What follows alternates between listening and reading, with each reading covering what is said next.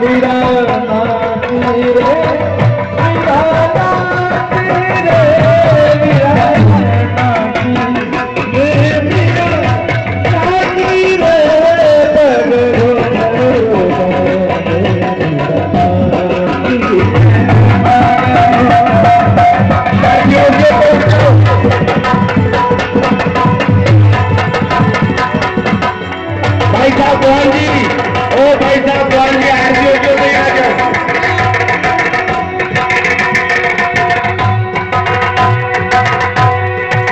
घर को